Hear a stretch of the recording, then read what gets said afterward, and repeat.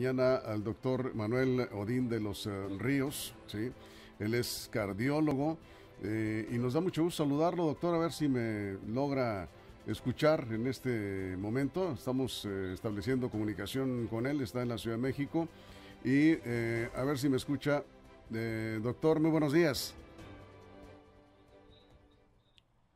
gracias, apenas alcanzo a escucharlo, pero vamos a ver si mejoramos el audio. Doctor, eh, pues antes que nada, gracias por su tiempo. En un día importante hoy sabemos eh. que hay actividades en buena parte del mundo y en el país, se diga, Sinaloa incluso tiene actividades hoy para conmemorar el Día Mundial del Corazón.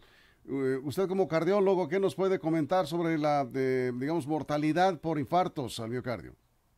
Pues sigue siendo la primera causa de muerte en el país y en Sinaloa. De hecho, ahora con el COVID hubo un exceso de mortalidad cardiovascular derivada de pues que se retrasaba la llegada de los hospitales o que estaban reconvertidos. De manera que a pesar del COVID, en el último reporte de mortalidad de enero del 21, la principal causa de muerte pues son las enfermedades cardiovasculares. Y el Día Mundial del Corazón pues es una fecha icónica pues que pone reflectores en, en la cardiología, en la enfermedad cardiovascular y un excelente pues eh, momento para promover pues todo lo que eh, eh, signifique prevención y mejorar la salud cardiovascular. Yo quiero preguntarle, digamos, tres o cuatro acciones básicas que tenemos que hacer para prevenir infartos. Bueno, yo creo que el tema es eh, checarse, ver que no se tienen factores de riesgo, hipertensión, diabetes, colesterol elevado, vida cardiosaludable, buena alimentación, ejercicio sistemático cardiovascular, 30, 40 minutos diarios, 5 o 6 veces por semana, de manera que obviamente estar atento, entre más edad, más riesgo. Caminar es necesario. Es indispensable y es fundamental para la salud cardiovascular, sí. Pero no es suficiente, ¿verdad?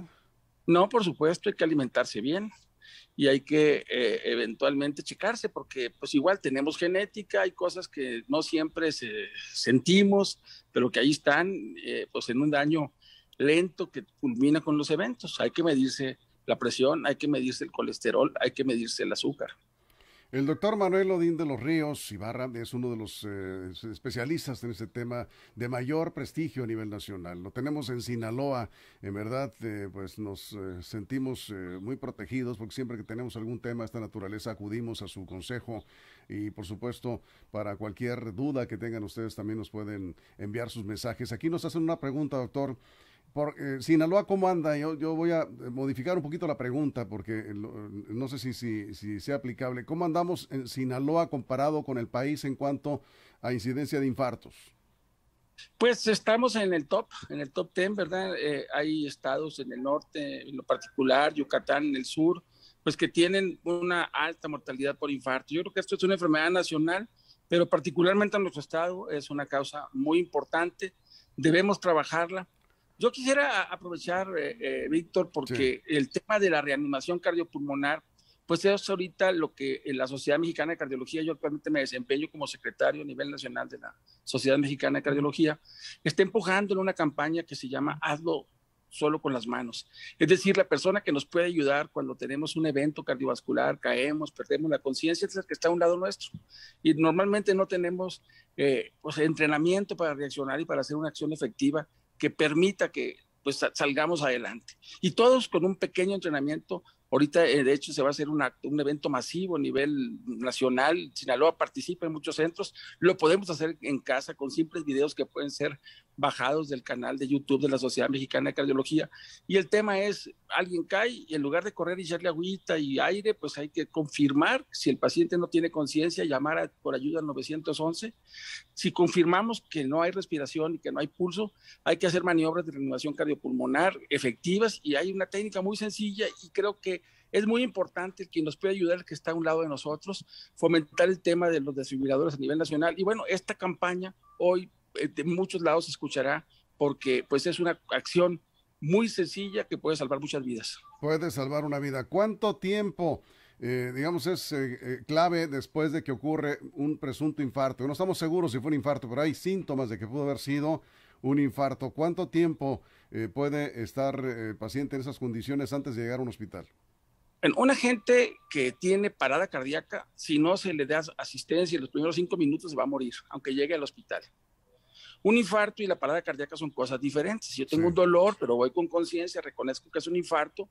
Si yo llego en la primera hora, obviamente vivo, pero se pueden morir las personas por arritmias, por eso es que tienen que tener acompañamiento. Eh, pues hay muchas posibilidades de poder brindarles un tratamiento que se llama reperfusión, es decir, un medicamento que abra sus arterias, ya sea o con un, una angioplastía y colocando un stent. La red en Sinaloa de la Secretaría de Salud brinda este servicio en todos los municipios. Ya tenemos medicamentos, electros, trombolíticos, ya luego será tema seguramente de platicarlo, pero eh, yo creo que el tema es que si tú tienes una condición de alto riesgo para infarto, tienes más de 40 años, tienes diabetes, eres hipertenso, tienes genética, pero aún así, si no lo tuvieras, un dolor intenso del, pecho que no cede, suda, frío, hay que ir al hospital. Si hay una parada cardíaca, quien está a un lado te puede salvar y el tema es, si se identifica que hay parada cardíaca, hay que hacer maniobras, hay que hacer compresiones torácicas.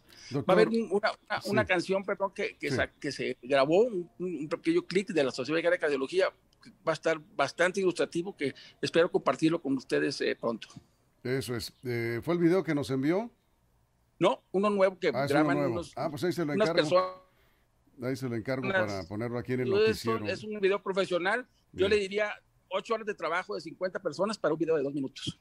Bien.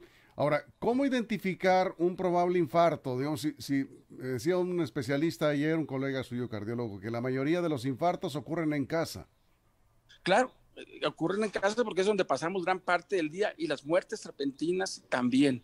Entonces, una persona que, que, tiene perfil, dolor en el pecho, falta de aire inesperada, pérdida del conocimiento, es una posibilidad muy, muy viable y hay que tenerlo en la mente y hay que saber reaccionar. El tema de educación a la población es identificar y reaccionar correctamente. ¿Una persona que duerme poco tiene riesgo de infarto? Tiene a ver, se nos está cortando un poquito. Cosas se nos está cortando la comunicación. A ver, doctor, se nos está cortando un poco la comunicación. A ver si podemos escucharlo eh, mejor porque es importante lo que nos diga sobre estos temas. A ver, ¿ya lo escuchó? Sí. ahí está mejor. le preguntaba a una persona que duerme poco, ya ve que ahorita muchos jóvenes... Ah, bueno, pues entonces... Sí. Sí, doctor. Sí, le escucho. El sueño, pues sin duda es reparador. El que duerme mal sube más su presión. Es sin duda tener dentro de la vida cardiovascular saludable, pues tener al menos siete horas de sueño, ocho de, ser posible. Y pues yo creo que tenemos que entender que la salud nos la ganamos día a día. Entonces una persona que duerme poco, que no duerme ni siete horas, que no camina, que está sentado regularmente haciendo su trabajo de manera, pues, eh, eh, digamos que, pues, poco, poca actividad, ¿no? No cuida su alimentación, tiene obesidad, está en alto riesgo de un infarto? Por supuesto.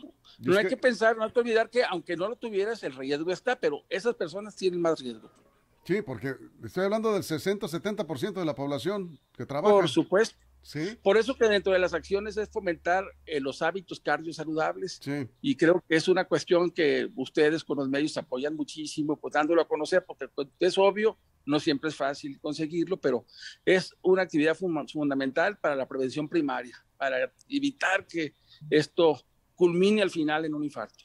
Eso es. Ahora, si mi abuelo murió de un infarto, mi papá murió de un infarto, un tío murió de un infarto, un hermano murió de un infarto, ¿voy a morir de un infarto? Es mm, probable, sobre todo si no se cuida. Si las muertes fueron prematuras, es decir, antes de los 55 años en los hombres, antes de los 60 en las mujeres, mucha atención y si yo vengo de esa genética, tengo que tener un especial cuidado en identificar ese riesgo. Eso es. ¿Qué va a pasar hoy en el país? Finalmente, díganos en 30 o 40 segundos para no quitarle más. Pues es un, va a haber un evento nacional, la Sociedad Mexicana de Cardiología, en general la cardiología, las sociedades en el mundo empujan información importante para la salud cardiovascular. En esta ocasión, la atención de la muerte súbita, el paro, la parada cardíaca, dando RCP solo con las manos, es una actividad fundamental. Yo esperaría que en Sinaloa se enteren un poquito, entren a nuestras redes sociales de la Sociedad Mexicana de Cardiología, vean los tutoriales y practiquen en casa. Si es posible que lo filmen y lo suben a las redes sociales, de manera de poder tener estamos tratando de batir un récord mundial de más personas que se entrenen en RCP el día de hoy en un solo día. De manera que los invito. Muy bien. Entonces es reanimación cardiopulmonar.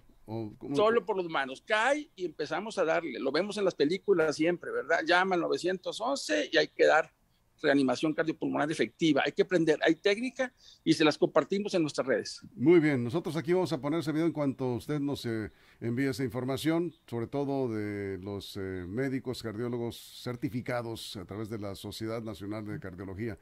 Muchas gracias. Usted es secretario de esa organización, ¿verdad?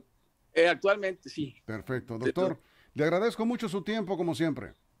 Gracias, Víctor. El doctor Manuel Odín de los Ríos Ibarra, cardiólogo. Ahí están sus comentarios, importantísimo esto, hay que tenerlo en cuenta. Nos quedamos con sus eh, consejos para prevenir infartos, la principal causa de muerte en este país y en Sinaloa, ni se diga. Estamos entre los 10 estados con mayor número de infartos. Terrible, ¿no? Terrible. Son las 7 con 27 minutos, una pausa, regresamos con más.